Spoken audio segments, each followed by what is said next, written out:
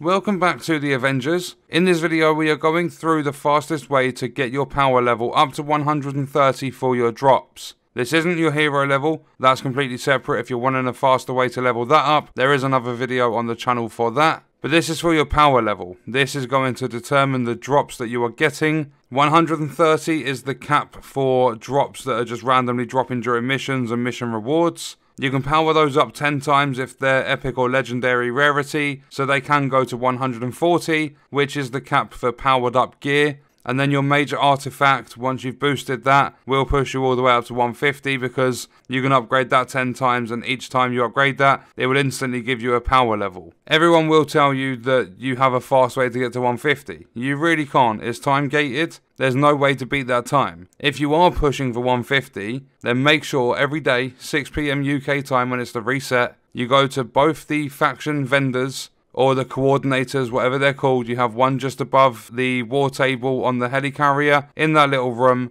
Pick up the assignments, pick up the villain sector, because you are going to need to do those. The villain sector will give you more upgrade modules because you complete it. You go to the faction vendor once you've ranked up the faction. The faction's going to reward you upgrade modules. They are used, and they are used a lot. There's also a farming method for those on the channel as well but they are used a lot for powering up your high-end gear. As soon as your gear gets to 130, you need to use upgrade modules and it gets very, very expensive. But the assignments you get, there are 8 per day for each of the factions, so a maximum of 16 per day they will give you a resource called Polychoron. That is what you are going to be using to power up your major artifact, and that is very expensive too. So it's time gated, there's nothing you can do about it. You just have to play through the game, wait patiently, and you'll eventually get your major artifact up to power 10. The problem with that is that will only work for one character. Your major artifacts do carry over, so once you unlock, for example, the Tactigon, that will be available across all characters, but if you power it up on Captain America,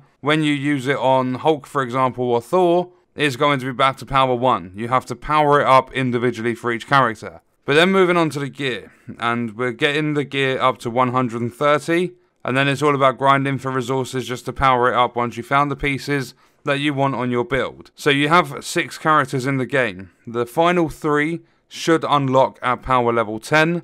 That's how the story played out for me, but there's a lot of bugs and stuff that's working completely different for every player. So not 100% sure if that's going to happen for you. But Thor, Captain America, and Black Widow started at power level 10. What you need to do, and it's a very simple process, is always play the content that has the highest base mission power requirement for your character. You can't go too over the top with it, even if you're playing multiplayer. And you have to bear one thing in mind, and that is that there are checkpoints when you're playing solo, and there are teammates around you, and unlimited revives when you are playing multiplayer. You need to be pushing your difficulty because even though Challenge 4 doesn't necessarily increase the drop rate or the quality of the drops, so, like the numbers on the attributes, for example, 45 might, that's not going to be affected too much, like there's not a significant change between challenge 1 and 4. But you are going to need to push these to the highest power level. And when I say that, I don't mean just play on challenge 4 all the time. You can play on challenge 2, it depends on the mission, or challenge 1 even. But basically, you go to your war table, and let's just say there is an assault drop zone, or something like that, just a random name Say your character is currently power level 25 and that drop zone is mission power 30 on challenge 2. If you have another mission on the war table that is mission power 35, go for that one because there's a bigger chance of increasing your gear. So just make sure you're paying attention to the mission power. When you get, I believe it'll be 55, you will be able to take on your elite hive. I believe it's in Pacific Northwest. I think it's called The Evil is Reborn or something like that.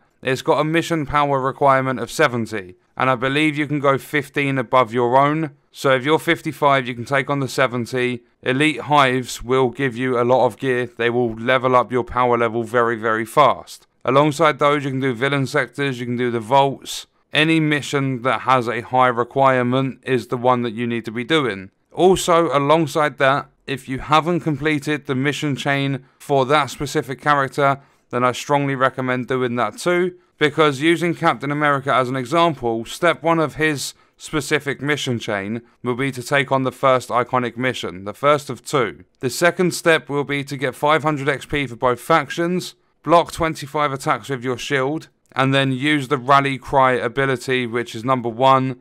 Use that five times or something like that. And then step three, the final step, will be to take down the second iconic mission. That second iconic mission, I believe it will be a power requirement of 40.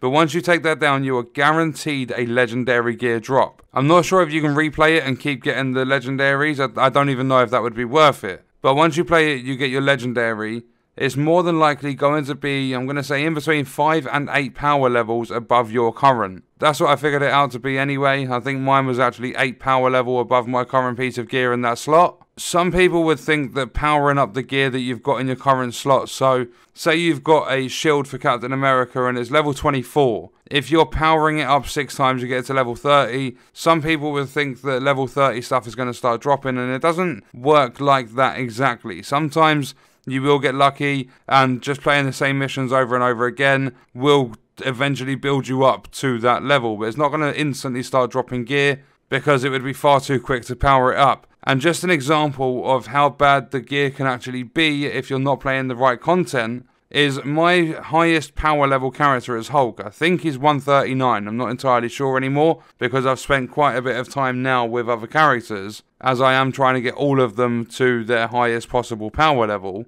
But say for example my Hulk is 139. All of my gear drops, the standard ones are either 129 or 130. If I play an assault drop zone, the missions that take like 3 to 5 minutes very very fast, if I play one of those and I get the end of mission reward, it's typically dropping at 120. It drops 10 power levels below my current or below the gear that I'm currently getting and that's because the content is easy. You've got to be playing the hardest content to get the highest level gear.